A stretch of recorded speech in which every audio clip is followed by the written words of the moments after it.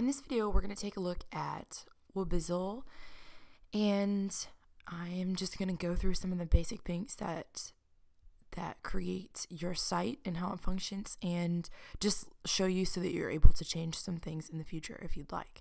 So what you would do to log in is go to your URL slash wp-admin, which I think you already know this and I think you already have a login.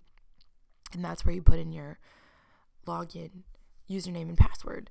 And I'm just going to go down the side here and we don't use everything here, but I'll kind of go down here and show you what these different things are. So under updates,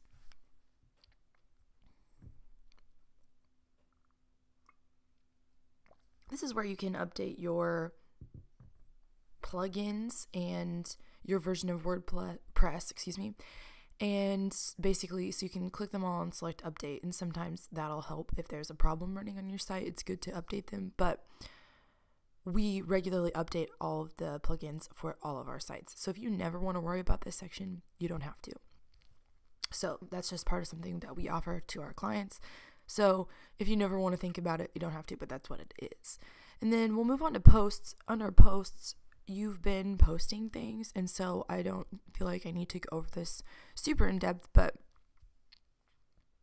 basically you can click add new here, you can click add new over here, you can click add new from here, and what you want to do is put your title here and then put your copy down here and then you'll put it you'll categorize it whichever way that you'd like and then you'll set the featured image down here as you've done and you can upload images here drag them there and then select them.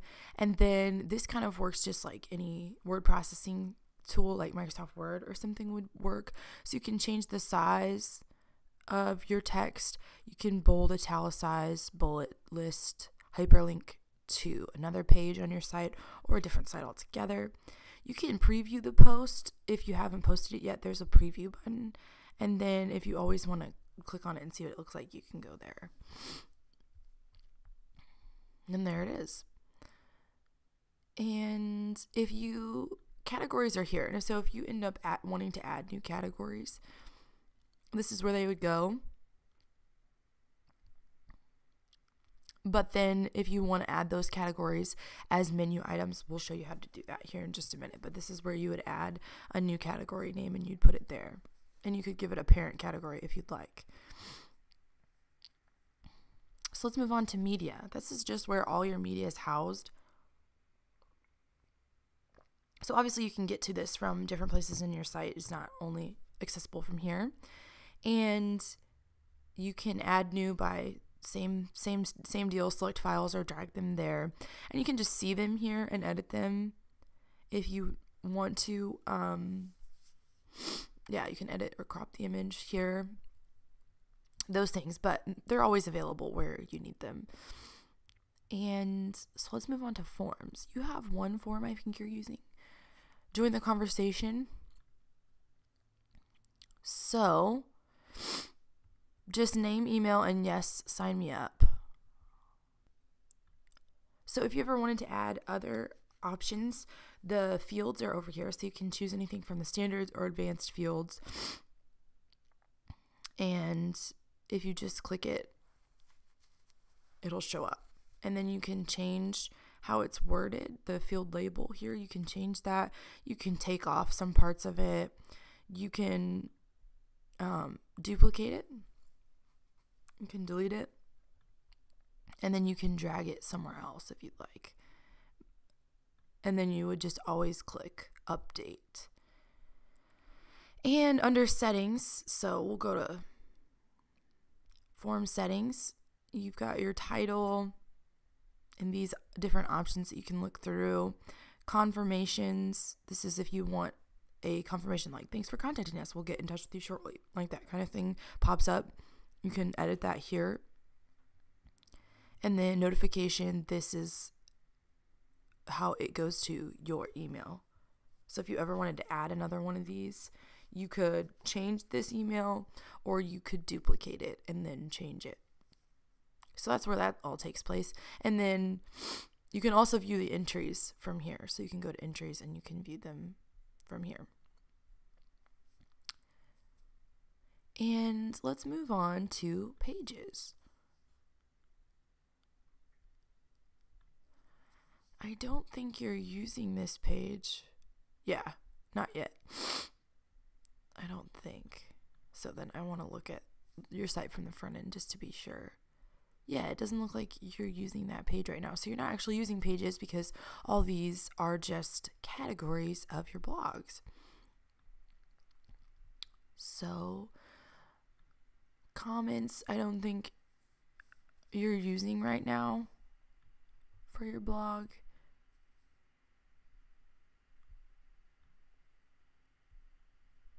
No, you're not. Okay, so we won't worry about that. Homepage areas. this is what creates some of the areas on your homepage, but for your site, we're we've actually used widgets, a different part, a different part of WordPress, and I'll show you show you that here in just a minute. But the part that is a, a homepage area is this section here. So I'll show you it. About Wobizzle right here. And you can see it looks just like a blog post page. It looks very similar. So you've got your text there in the middle as heading one, which is like the biggest, the largest, and it's all centered. And then if you look under formats, it's also formatted as white text. So then if you scroll down, it's got a picture in the background with a co- color overlay, and then the transparency of that color is adjusted through here so that it looks nice and good. If you end up wanting to change out these words, now you know where that's at. If you want to change out the picture in the background or the color, or if you want to use this color somewhere else, you can get this color code from there.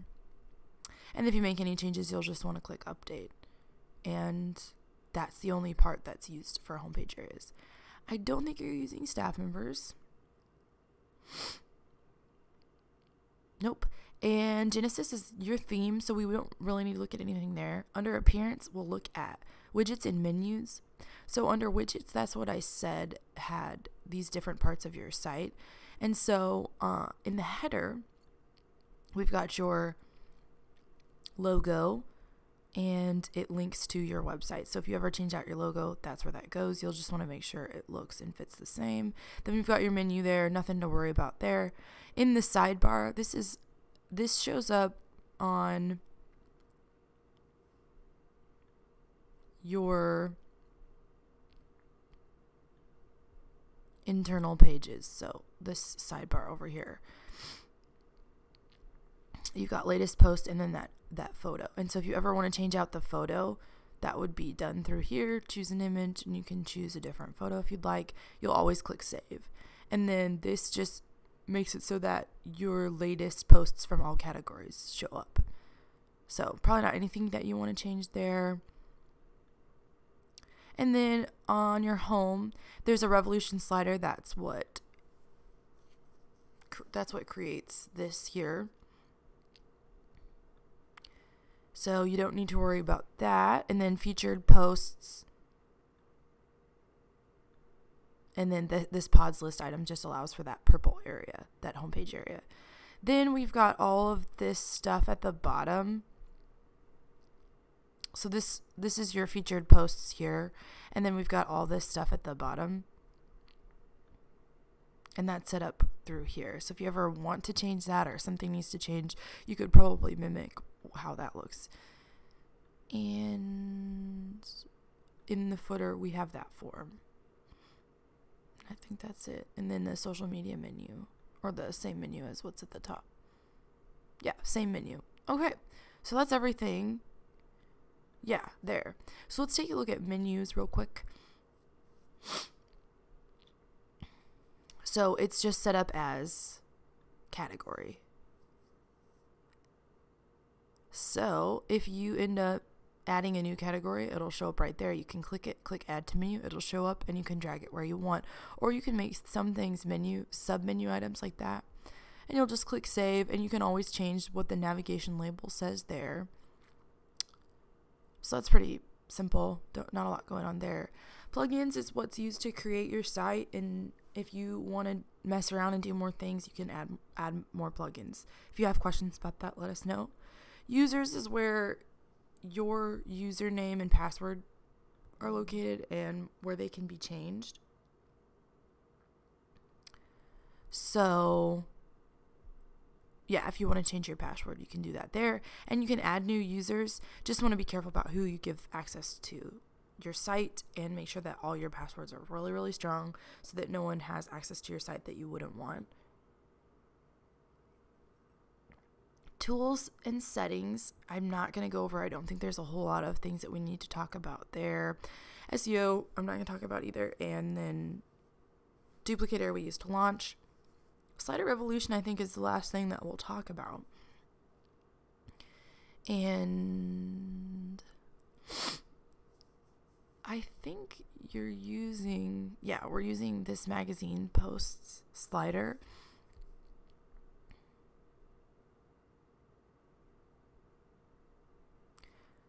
So it's a, it's already customized to use your latest posts. So if you end up wanting to change how this slider looks, you can let us know and we can we can work with you on that or you can mess around with some of the different types of sliders that there are. But this is where that is and everything it's got the timing and everything all set up so you can mess with those different things if you want to and if you feel like you would like to do that, you're more than welcome to. But this is where that's located just so that you know. And this is where the timing of all those items is located. And you can adjust anything there and go down through each screen size, make sure it works and looks good. So, obviously, this is just loading your most recent blogs, and so there's you don't actually change the wording there. But if you see a different type of slider or you see a different type of website that has a slider that you would like and you'd like to change some of those things, you can let us know. We can maybe try to guide you there. You'd always click save and you can preview it as well. And I think that's it. That's all the things that you're using on your site. Looks like you kind of already know what you're doing and you've been using it. And so um, we're glad that you're happy with it and that things are going well. Let us know if you have questions or we can help with anything else.